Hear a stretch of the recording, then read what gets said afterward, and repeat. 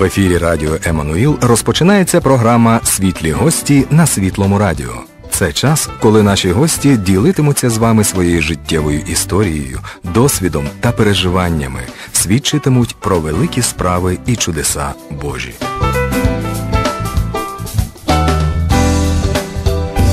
У цей момент відеоінтерв'ю доступне на нашому каналі в Ютубі. Вітаємо вас, дорогі радіослухачі. А це програма Світлі гості. І ми радо вітаємо наших світлих гостей. Це пастор Максим та Леся Ларцене, церква Благодать, що у місті Вінниця. А, І у них дуже насичений графік. Вони приїхали до Києва на п'ять вечорів поклоніння і хвали, що має назву Нічого добавить. Ну, доброго дня вам. Добрый день. Добрий день. Скажіть, будь ласка, у зв'язку із ось таким активним способом життя, насиченим графіком, як Господь оновлює ваші сили? Що ви для цього робите? Чи ви у благодаті живете і н- не відчуваєте ніяких втрат фізичних сил? А, к- Конечно, об- а, обновление э, э, происходит постоянно. Писание говорит, э, надеющиеся на Господа обновятся в силе, расправят крылья, как орлы, потекут и не устанут, пойдут и не утомятся. Поэтому для того, чтобы обновляться, нужно надеяться на Господа, уповать на Него. Поэтому, конечно же, э, э, ну, чем хорошо, тем, что когда мы приезжаем, ну, в данном случае даже на эту конференцию, мы приезжаем, чтобы поклониться Господу, чтобы прославить Его, и это даже ну, не только время, когда мы отдаем, служим, но и когда мы принимаем. Поэтому ну, с Богом, конечно, слава Господу. Ось тут питання було таке е, Ви, мабуть, уже е, відвідали не одну в своєму житті конференцію, а у житті пасторів. Змінюється щось після конференції? Чи ви вже скільки всього багато знаєте, що для вас нічого нового не відбувається? Ну, конечно, э, меняется. Потому что если не меняется, значит, это что-то ненормально уже тогда в жизни человека. Обязательно перемены должны происходить, и э, э, самые главные, э, на мой взгляд, перемены, они как раз должны происходить в личной жизни. Потому что все начинается с личной жизни, а потом переходит на служение, ну и так далее. Вот, поэтому, конечно же, прежде всего э, эти, эти перемены происходят, и даже, скажем так, я больше нацелен на то, чтобы видеть перемены, э, видеть обновление, видеть исцеление и души, и тела, и отношений именно в личной жизни. И это происходит, слава Богу. Слава Богу. Е, у нас тут в плейлісті стоїть пісня, має назву Нівєста і виконує Максим Ларцин. А ви можете розказати про це відрізок вашого життя коротко, бо дуже багато питань до вас. А, пр- а, в плане написания песен вы имеете І в виду? взагалі вашого служіння. Ви прославляли Господа, Да. ви служили у прославу. Да, да, какое-то время. Да, э, ну, э, на самом деле я, э, ну, не профессиональный музыкант, далеко. То есть я не занимался профессиональной музыкой, но я э, еще до того, как уверовал, я писал свои песни, ну, и так, и так далее. Вот поэтому я, э, скажем, э, хотя не профессионал, но никогда, ну, не был далеким от музыки. Мне нравилась музыка и, и так далее. Но когда я пришел к Господу, у меня был такое, знаете, радикальное такое покаяние. Когда я покаялся, я все свои песни, у меня их было больше ста, я их всех порвал и выбросил. Потому что я как-то, знаете, вот реально Дух Святой обновил и дал такое ну, новое начало. И какое-то время я, э, какое-то время, я даже, знаете, я такие песни писал в мире очень философского направления, такие умные очень. Вот. И когда я вот попал в церковь, я слышу песни там «Аллилуйя, аллилуйя, слава Богу, аллилуйя», ну, очень как бы простые. Я думаю, ну, сейчас я их буду вот как э, семечки просто щелкать, писать буду песни там и все. И когда я сел, взял гитару и по- попытался написать, я вдруг понял, что я не могу ничего написать. И это было для меня таким свидетельством, что это не я, и я не могу сам. Я тогда оставил гитару, я перестал вообще, я даже не думал об этом, просто начал служить Богу, делал там, ну, в разных служениях участвовал, принимал участие. И потом, через время, вот как-то, когда, знаете, прошел какой-то период э, времени, и Господь что-то произвел внутри, и эти песни начали приходить. Mm-hmm. И приходить от, э, я, э, ну, я верю, от Духа Святого. Вот, поэтому вот такой период жизни был. Сейчас, конечно, я меньше пишу, потому что, ну, служение. пасторское служение, да, но все равно время от времени меня посещает Господь в этом направлении. У нас є одна програма, називається Таланти і поклонники. Ми говоримо у цій програмі mm-hmm. про хвалу. У нас тут різні люди є. От буквально на днях у нас була християнська виконавиця Оксамито, і вона каже: до приходу до Господа я думала, як вони весь цей час можуть співати про Господа. І здається, одне і те саме, і нічого нового. Але каже, потім, коли я відчула оцю Божу любов, я задавалась питання, як можна співати не про Господа, а про щось інше. Слава Господу! Я пропоную зараз, е, щоб ви іще відпочили, і ми послухаємо пісню Нівеста. Це про церкву. А ви можете дати коментарі стосовно неї? Що це були за відчуття, за переживання? Можливо, у вас відкриття тоді якраз з'явилося стосовно того, хто є церква перед Господом? Угу.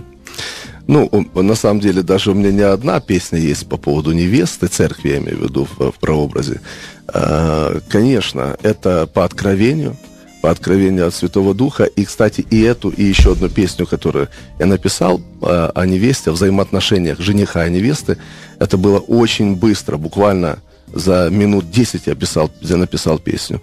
Поэтому это именно Дух Святой, это по откровению. И, э, конечно, я переживал определенные... Э, я не знаю, какую вы будете ставить на самом деле сейчас из этих двух. Mm-hmm. Ну, ну, в общем, э, я... Э, э, знаете, я просто переживал такую, ну, знаете, откровение, что э, жених, он приходит к своей невесте, это по песне песней, и, э, знаете, он ищет ее, стучится к ней в дверь, говорит, открой, отвори, возлюбленная моя, голубица моя. А она все как бы медлит, не отворяет, а потом, когда отворяет, его уже нету, и она начинает его искать.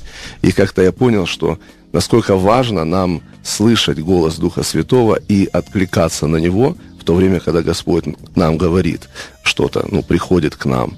Вот, поэтому такая предыстория, скажем так, этой пісні. Ну, Якщо це вона, звісно. Ну, ми послухаємо, бо я ж не знаю, да, яку ви да, маєте на увазі. У нас у базі одна невеста, ну, ваша. Да.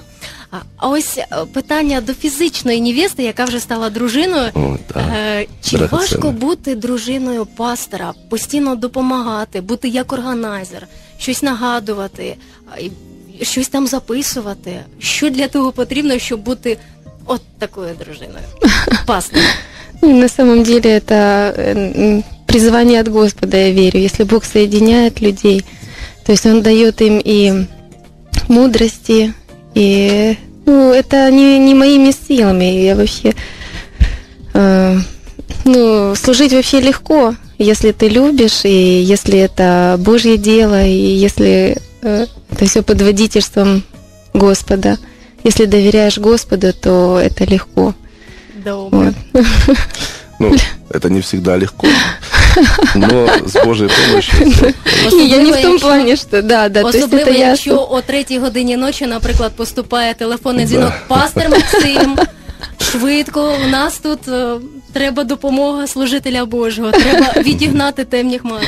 Ну, фізично це, ну, как би, Фізично ну, важко. Не, не дуже легко, але ти розумієш, для чого це, коли є. Если можно, я потом после песни добавлю по этому вопросу, что у меня есть что сказать. Добре.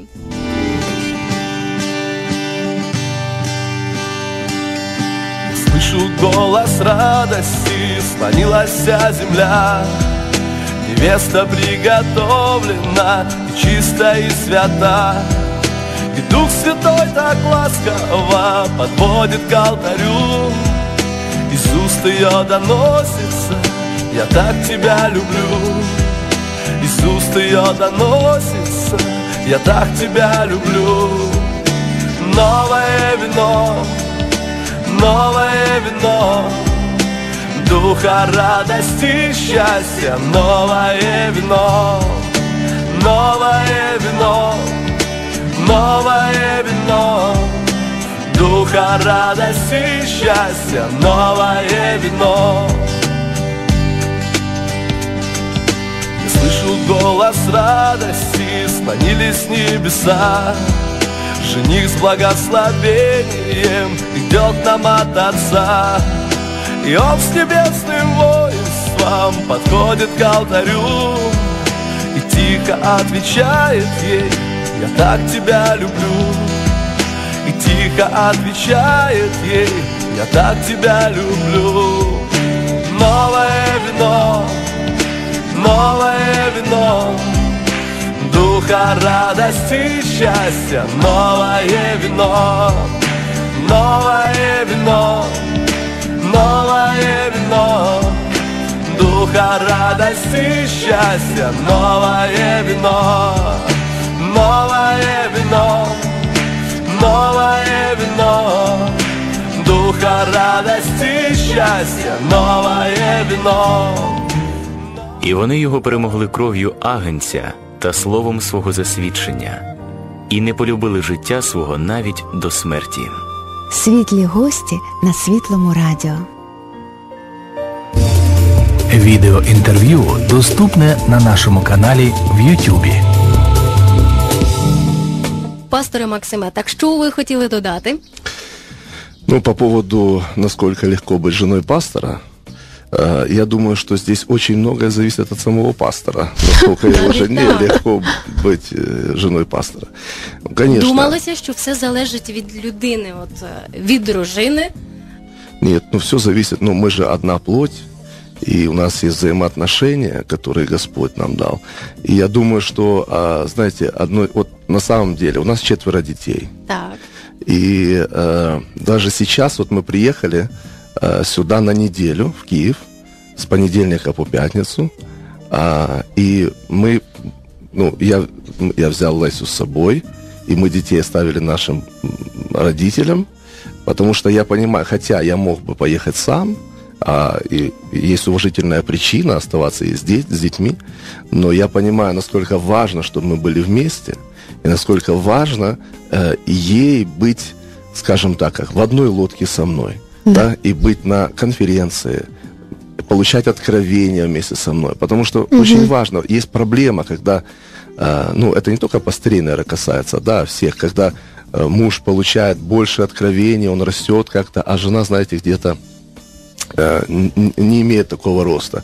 И потом проблемы в семье из-за этого могут возникать. Ну вот мы делаем так, стараемся, чтобы мы были вместе. Ось у нас було наразі питання стосовно того, що робити у тій сім'ї, коли, наприклад, дружина із маленькими дітками, і у неї немає можливості ходити до церкви, немає можливості дивитися онлайн-трансляцію. І у людини, у жінки просто опускаються руки. Тому що вона постійно із дітьми, вона нікуди не виходить, в неї немає часу дивитися за собою або якось гарно виглядати. І постійно в такому ось е, режимі, що, що можна порадити таким людям? Ну, конечно, это э, каждый э, такой, значит, знаете, индивидуальный подход здесь должен быть, потому что сложно сказать, потому что если нет возможности ходить в церковь, нет возможности смотреть там онлайн-трансляции какие-то, то вообще, ну, м, ну, можно только одно посоветовать, молиться, читать Слово Божье, то есть личное отношение с Богом. Вот, но, хотя, конечно, в наш век сейчас, э, знаете, есть возможности, я думаю, у многих, по крайней мере. Но если нет, конечно, тогда э, личное отношение с Богом, вообще это самое главное, это, ну, Тоді стержень. Бог, бачачи бажання, так Конечно. зробив усе. І машину Конечно. знайде, і трансляцію налагодить. Да. Добре, Да. дякую. А, тепер переходимо ось до такого питання. Ваша церква називається Благодать. Багато людей, багато можуть розказати красиво, що це таке, але не у всіх вона працює благодать. Чому один служитель все своє життя віддає і фізично і нічого в служінні не виходить, а інших, інший без потуг, ну наче сам Бог все робить. Чому не у всіх благодать працює? Що робити для того, щоб працювала, і у які сфери життя ми можемо, як кажуть, призиваю благодать, у які сфери життя ми можемо це робити, призивати? Ну, м, надо, надо понять просто э, для начала, что такое благодать. Ну, хотя бы таке благодать? коротко сказать, да? Э, ну, э, лучше, чем Библия, никто же не сможет это ска- сказать или объяснить. Например, Писание говорит в э, втором послании Коринфянам, 8 глава, 9 стихе, Написано так, «Ибо мы знаем благодать Господа нашего Иисуса Христа, что Он, будучи богат, обнищал ради нас, дабы мы обогатились Его нищетой». То есть не вопрос сейчас, э, там, чем мы обогатились, там, в душевном, духовном, физическом, материальном, это не, не столь важно сейчас на данный момент. А важно то, что э, э, апостол Павел говорит, мы знаем благодать Господа нашего Иисуса Христа, и Он дает нам понимание, откровение, что же это за благодать Господа Иисуса, что Он, будучи богат, обнищал ради нас. То есть о чем Он говорит? Он говорит о Голговском кресте. Он говорит о работе Иисуса, не о нашем труде, а о труде Иисуса Христа. Вот так этот стих и звучит. «Ибо вы знаете благодать Господа нашего Иисуса Христа, что Он, не что мы, а что Он, будучи богат». Поэтому, если сказать коротко, то благодать – это завершенная работа Христа на самом деле. Він усе зробив для того, щоб ма- я мала ось це, це да, і це. Да, совершенно верно. Да. И есть другое место в послании э, к римлянам, э, которое говорит следующее, что если э, мы добавляем дела к благодати, то тогда это уже не благодать. Да?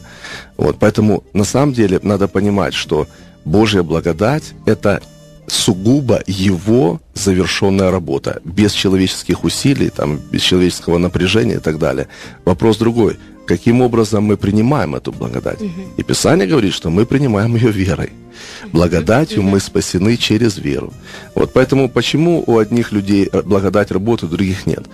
Э, ну, во-первых, давайте еще одну скажу вещь. Э, Есть, э, скажем, такая всеобщая благодать для всех людей. То есть вот жить, да? благодать жить. Но есть еще благодать э, специфическая. Это благодать служения. То есть он поставил одних апостолами, других пророками, евангелистами, учителями, ну и так далее. То есть это означает, что есть особая благодать быть пастором. Но э, если у меня нет благодати быть евангелистом, я не могу быть евангелистом. Не буде виходити. Да. То есть я могу попробовать, конечно, я могу напрягаться, я могу прилагать усилия, но результатов не будет. Поэтому я думаю, что у некоторых, возможно, людей, почему не работают, потому что они не в своей благодати. Не в тій сфері. Да, де не ти в той рухаєшся. сфере, да. То есть они делают что-то просто потому, что они услышали, как кто-то делает. Або Они... призив почули, Да, давайте да, туди давайте, да. поїхати. И вот эмоционально просто ответили на этот призыв, знаете, душевно так, давай будем делать. А на самом деле после этого, ну, приходит разочарование. И для того, чтобы этого не было, опять же, нам нужно получить откровение от Господа. Вот, ну, я могу об этом долго говорить, так что вы меня останавливаете, если что, хорошо. Е, Уже маю зупинити. А, в принципі, ви відповіли і на третє, на третє питання, що робити, щоб благодать працювала. В залежності від нас, приймаємо чи не приймаємо. Добре, а, до вас прийшло питання. Э, Так, здравствуйте, пастор Максим. Если можете, поделитесь своими мыслями по поводу стиха с Библии Матфея 7.23.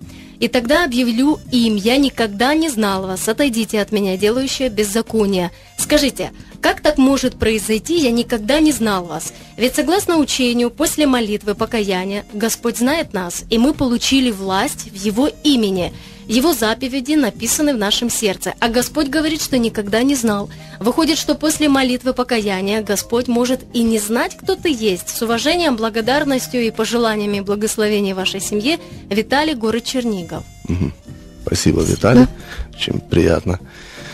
А, Ну, я могу поделиться мыслями просто своими. А, Не утверждаю, что это последняя инстанция, но, м, а, ну, как вариант, который, который у меня мысли есть. Ну, во-первых, э, как бы мне импонирует, скажем, такая идея, а, мысль такая, а, что Иисус говорит, а, обращаясь не лично к человеку в данном стихе, а Он говорит, я никогда не знал вас, как к некоему обществу, такой вас, в плане, знаете, вот есть люди, которые вот, мы очень часто, люди находятся в церкви, вот приходят в церковь в собрание, да, образно 100 человек, там 100, 200 человек, неважно, приходят люди, и в церкви что-то происходит, происходит там освобождение, там, исцеление, а, и люди находятся в церкви, и они думают, что они участники всего этого процесса.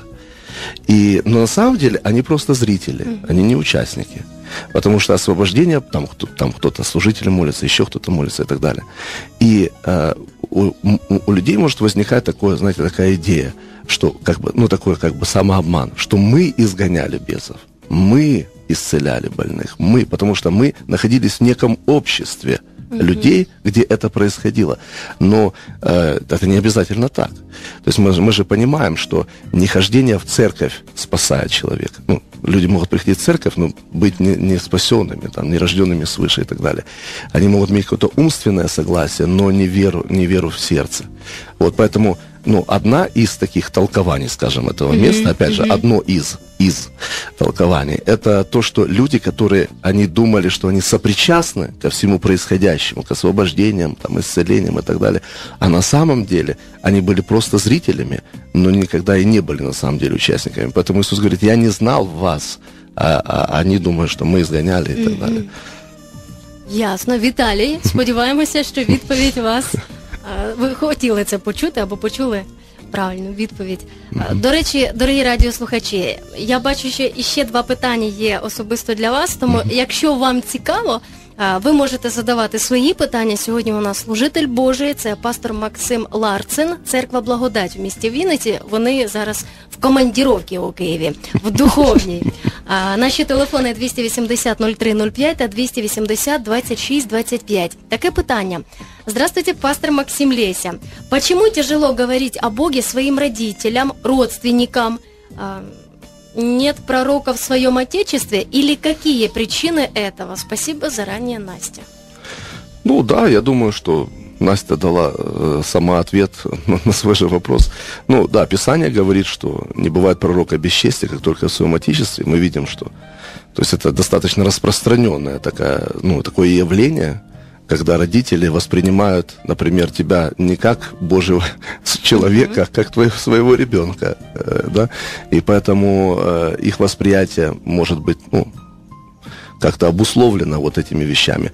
Э, хотя, с другой стороны, мы не должны, ну, скажем, знаете, очень часто мы можем взять это место, что вот не бывает пророка в своем отечестве, и уже как бы изначально опустить свои руки.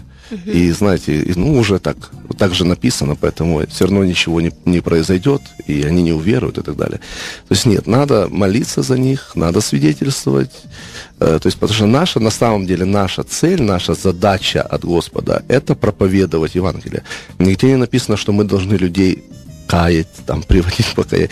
Да, то есть Дух Святой приводит к покаянию. Дух Святой дает рождение свыше. Он открывает слово. А наша задача свидетельствовать.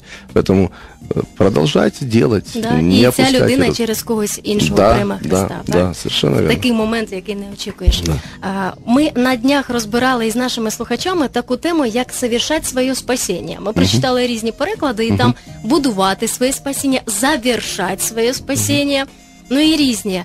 От кожен висловлював свою думку, те, як він думає, як давав відкриття. А що ви можете у цьому плані сказати? Як нам совершати своє спасіння? Є багато людей, які, як ви казали, вважають себе частиною церкви а, і не змінюються. Не відбувається ніяких змін. То як же ж совершать спасіння? Ну, я бы так сказал. Мое мнение по этому поводу, мое, то, как я верю то, как я верю, э, что, конечно же, спасение – это э, прежде всего духовный акт, ну, духовное действие. Есть, помните, когда Никодим пришел к Иисусу, в Иоанна 3 главе написано, и он говорит, таких чудес, которые ты творишь, никто не может творить, если не будет с ним Бог. А Иисус говорит, не удивляйся тому, что я скажу, ну, вам, должно вам родиться свыше. И он говорит, как можно родиться свыше, снова выйти в утробу матери своей. На что Иисус говорит, ты э, говоришь сейчас по плоти.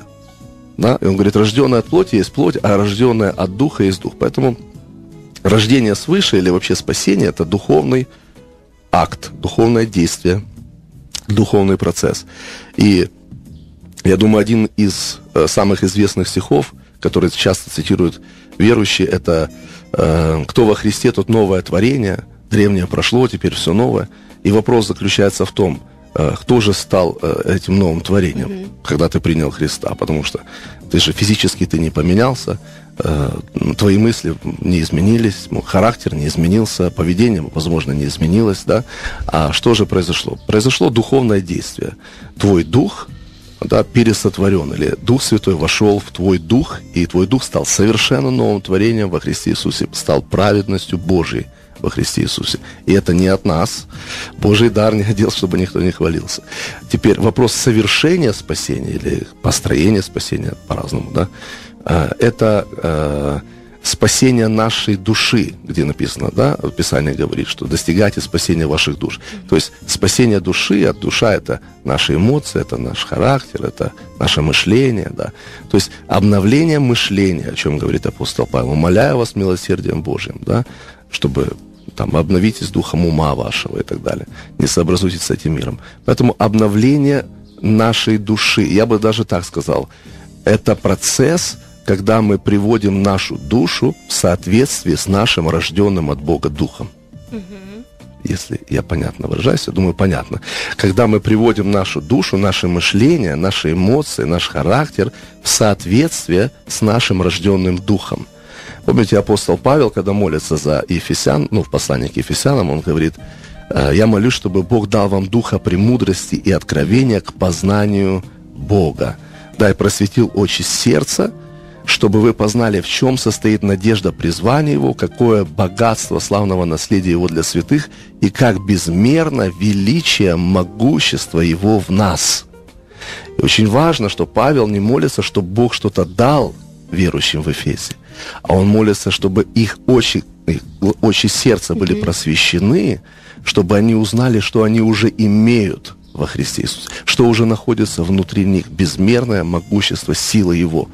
И когда приходит откровение от Бога, на самом деле откровение дает нам понимать, что мы уже имеем. Не, не то, что мы там должны получить, а что мы уже имеем во Христе Иисусе. Поэтому спасение наше, которое мы совершаем, это как раз вот когда мы получаем откровение, и что-то из духа переходит в наш разум, мышление, обновляет мышление и так далее. Ну и потом, соответственно, ну, как бы прогрессирует и в физическом мире проявляется. Навіть не знаю, питань є багато і дуже цікаво ви відповідаєте. Просто, от дуже головне зараз у простоті, не якось там. Ну, я буду стараться. Хорошо. Давайте зараз, перед тим як ми прервемося на пісню, яку виконує Максим Ларцин.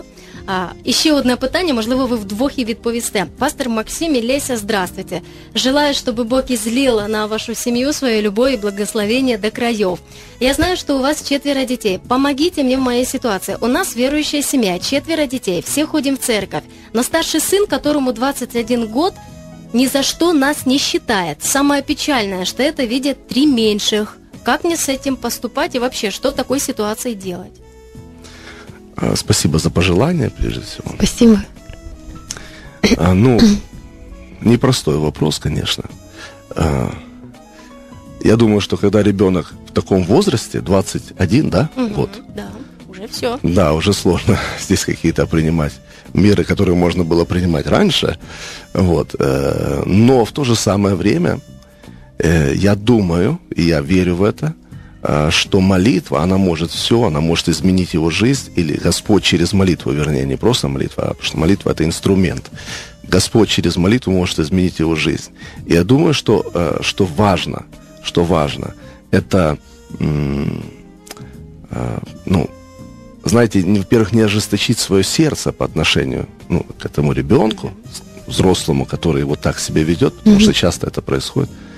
А, и, а, знаете, э, есть одна очень одна важная вещь, это ну, любовь, которая меняет жизни людей. И я очень ну, часто с этим встречаюсь. На самом деле, э, мы все, э, помните, как блудный сын, который приходит к отцу, и отец обнимает его и дает ему лучшую одежду, проявляет любовь, и в этой любви происходит настоящее покаяние. Поэтому, конечно же, надо молиться, надо проявлять любовь и доверять Господу, потому что, ну, уже методы, которые там для маленьких детей здесь уже, ну, Хорошо. Не Методи работает. для маленьких дітей. Вашому старшому скільки? Одиннадцать. Леся нам 11. А, Добре, а давайте візьмемо дітей 2, 3, 4, 5 років, коли вони показують, хто ким вони хочуть бути. І коли, м, як один тато каже, дивлюся в школі, мій син, ну, ангелятко, і відмінник, і все. Приходить додому, починає погано чути. Папа, що ти сказав? Які уроки, папа? Там е, синок, давай швидко в школу вдягайся, папа, руки втомилися там і так далі. коли діти показують свій характер, як батькам поводитися? Кнут і пряник? Знову таки проявляти любов, чи є друг, є авторитет? І як взагалі ось тут дуже гарно е, змежувати, щоб батьки для дітей були і другом, і авторитетом. Тому що якщо буде тільки другом, то можна і на шию вилізти. Ну, я даже недавно проповедовал в церкви на, на эту тему, поэтому э, даже интересный вопрос. Э, вы знаете, во-первых, надо понимать, э, вот тут нельзя разделить, в данном случае, ну, мы говорим, э, пряник или, ну, там, да, любовь или строгость, а на самом деле Писание говорит, кого люблю, того наказываю, да?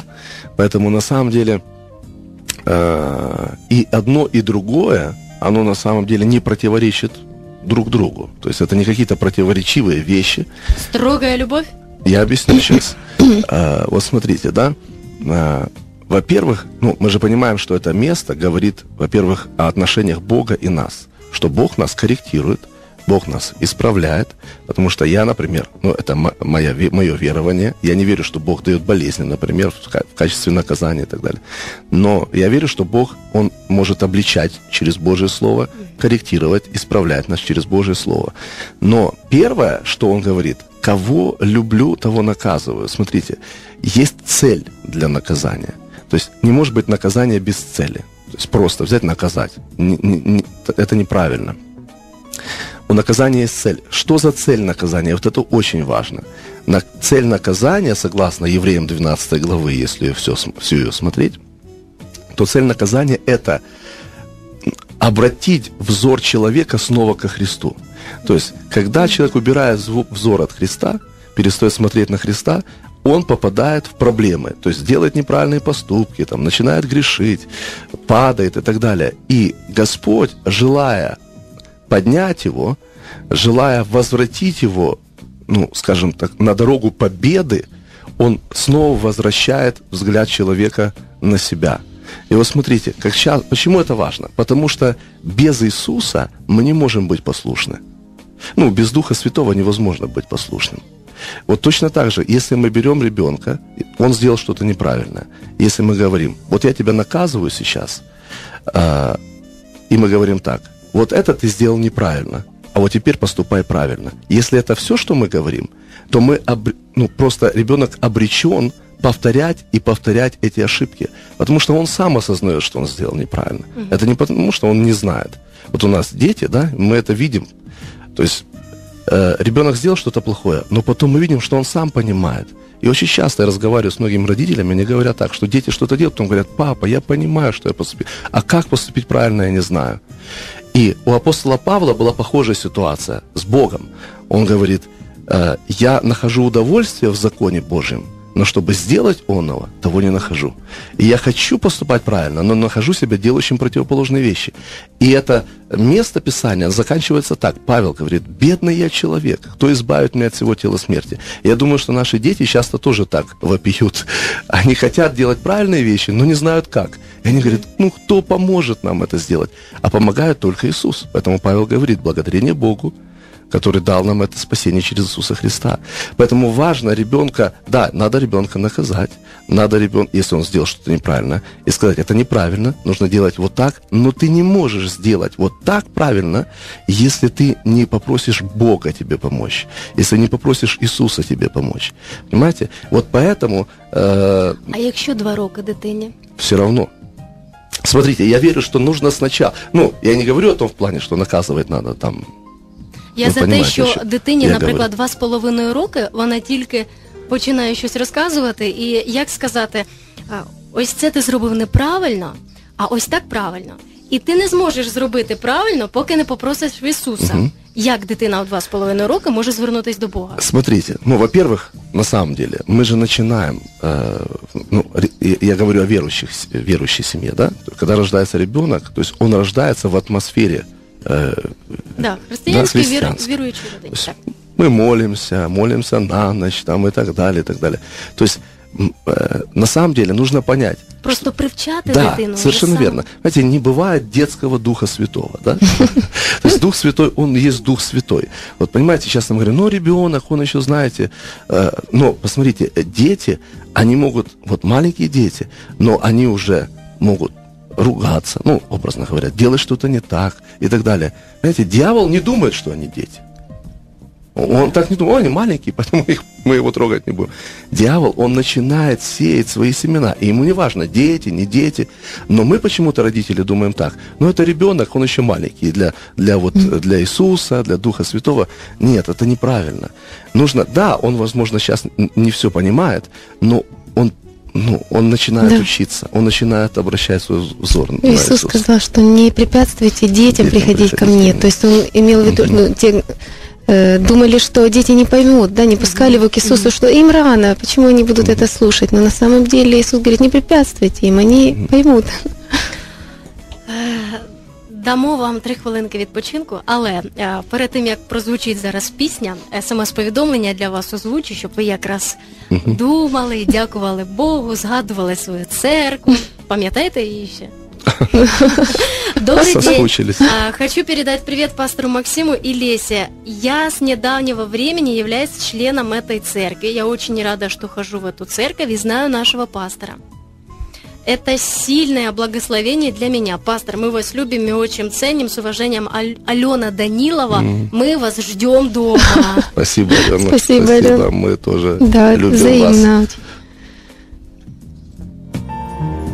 І вони його перемогли кров'ю агенця та словом свого засвідчення, і не полюбили життя свого навіть до смерті. Світлі гості на світлому радіо. Я не хочу в обмане жить. Во мраке падать и ходить. Я так хочу твоей любви. Иисус, прошу меня прости. Я не хочу в обмане жить Во мраке падать и ходить Я так хочу твоей любви. Иисус, прошу меня прости. Я благодарю Тебя за кровь, что пролил Любя за то, что понес. Мой грех и двери всех я благодарю Тебя за кровь, что пролил Любя за то, что понес Мой грех и двери открыл Для всех. Все расточил, как блудный сын. Я среди тысяч, как один Дыхание смерти отверни. Иисус, прошу меня прости. Я благодарю Тебя за то, что пролил Любя за то, что понес Мой грех и двери открыл. Для всех я благодарю Тебя за кровь, что пролил Любя за то, что понес Мой грех. И двери открыл Для всех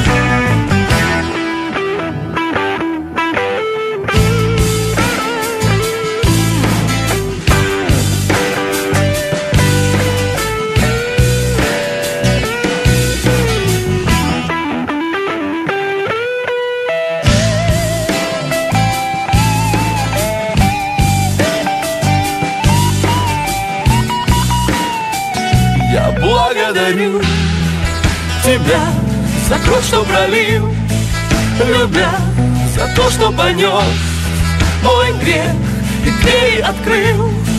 Для всех я благодарю тебя за кровь, что пролил, любя за то, что понес мой грех и двери открыл. Для всех я благодарю Тебя за кровь, что пролил Любя за то, что понес Мой грех и двери открыл Для всех І вони його перемогли кров'ю агенця та словом свого засвідчення, і не полюбили життя свого навіть до смерті. Світлі гості на світлому радіо. І ще раз нагадаю, хто сьогодні наші гості. Це пастор Максим та Леся Ларцене із церкви Благодать, що у Вінниці а, гостюють у Києві. Скоро повертаються додому, де їх чекає їхня рідна церква. Молиться, щоб скоріше приїхав. Приїхали. А, і ось, прослухавши цю пісню, у мене таке питання.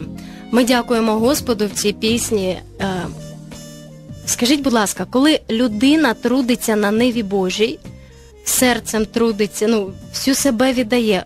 Чесно хоче, щоб прославилося ім'я Боже, щоб виконалася місія, але в житті нічого не відбувається, не наповнюються житниці, немає благословіння, якось не приходить воно.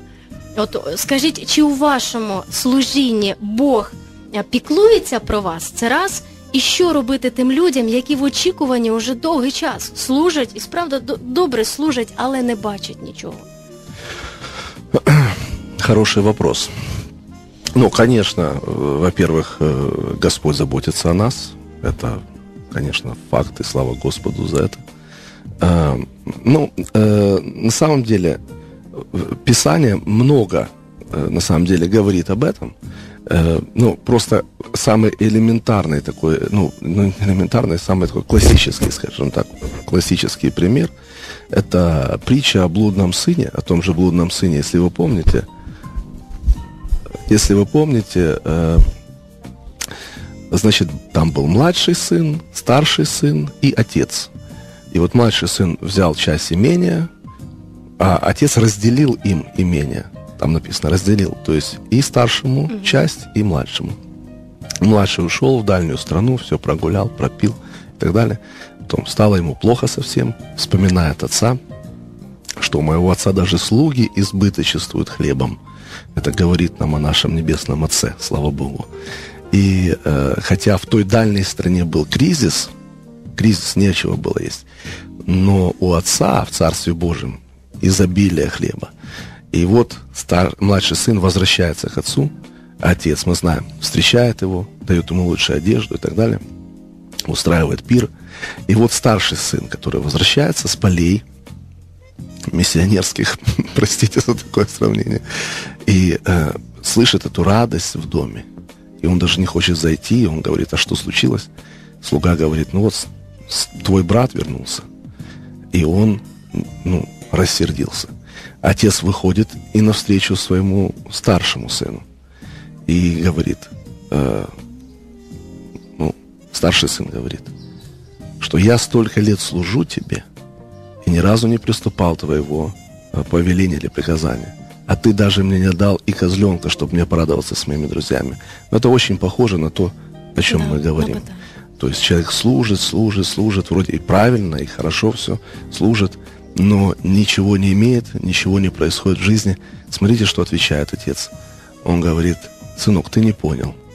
Все мое твое. Другими словами, ты мог этим пользоваться всегда. То есть, другими словами, отец говорит, не я виноват в том, что ты не пользуешься этим. То есть просто ты не берешь то, что принадлежит тебе. И тут очень важный момент. А, на самом деле, смотрите, этот младший сын возвращается. Он возвращается, ну, разбитый, образно говоря, разочарованный в себе и так далее. И отец принимает его, вот о чем мы говорим, благодать. Она проявляется незаслуженно. Он ничего не заслужил. И он это понимал, что важно. Он понимал, что он не заслужил. И благодать излилась на него. А старший сын, знаете, как-то получил откровение, мы говорим, это притча о блудном сыне, то когда отец всматривался вдаль, ждал своего сына, и когда он увидел, как сын появляется, знаете, а сын, я думаю, ну, был в очень плохой одежде и так далее, и так далее. И он издалека узнает своего сына. Несмотря на эту одежду, в которой никогда он раньше сына не видел, он узнает своего сына, а старший брат узнал в нем блудника. Знаете, это притча о блудном сыне. Отец узнает сына, а старший брат узнает блудного. Он говорит, блудник там растратил и так далее. Вот поэтому смотрите, старший сын а, это фактически прообраз закона, потому что закон смотрит на дела. Э, Что, э, как он ассоциирует этого младшего брата? С его делами. Говорит, он растратил там с блудницами и так далее. Мало того, он не только сосредоточен на делах своего брата, он сосредоточен на своих собственных делах. Я столько лет служу тебе, ни разу не приступал приказания твоего и так далее. Но благодать видит, кто мы есть во Христе Иисусе. Мы дети, мы сыны, мы, мы любящие, ну, возлюбленные. Вот это важно. Поэтому я думаю, что на самом деле, во-первых, надо осознать, что я ничего не могу заработать у Бога. И да, я, может быть, хорошо служу, я много делаю, но это не э, причина, чтобы Бог меня благословил. Нет, Бог уже меня благословил, потому что я его сын, и потому что он меня любит. Аминь. Слава Богу, про те, як е, зробити так, щоб християни навчилися брати те, що їм по праву належить, мабуть, це якось в інший раз. Хорошо, приедем обязательно. Останнє, що я хочу попросити, це е, щоб ви здійснили молитву за чудових людей, які допомагають тому, щоб ми сьогодні, е, щоб ви сьогодні були почуті кругом по всій Україні і за кордоном, які допомагають тому, щоб світле радіо звучало. Вони допомагають фінансово, молитовно. Просто звершіть, будь ласка, за них молитву. Отец, мы э, сейчас здесь соглашаемся в молитве за каждого человека, кто слушает нас. Мы молимся за тех, кто поддерживает это служение своими финансами, своими молитвами, поддерживает э, своим сердцем. Господь, мы благодарим Тебя, что Твоя благодать на их жизни прямо сейчас, и она работает. И мы благодарим Тебя, Господь, что приходит Твое обеспечение в их жизнь и проявляется в их жизни. Спасибо Тебе, Господь. Мы знаем, Господь, что когда мы соглашаемся, когда двое соглашаются, они могут достигнуть цели. И я благодарю Тебя, что это служение достигает своей цели. Цели, которые Ты предназначил. Спасибо Тебе, Господь. Во имя Иисуса. Аминь. Амінь. Дякуємо. Час вичерпано. А, навіть не знаю, що їй побажати. Благодать у вас є. Ви в цьому живете, ви в цьому е, боретесь. е, Побажайте бл- нам благодать на благодать. Ось я тільки хотіла сказати, нехай примножується благодать на благодать. Все, Спасибо. е, Дякую. бажаємо добре доїхати додому. Передавайте тепер привіт не тільки від киян, і служителів тих церков, де ви були, де ви спікером були, а й від світлого радіо. Передавайте Спасибо. вітання. Спасибо Всього огромное. найкращого. Спасибо. Богу Спасибо.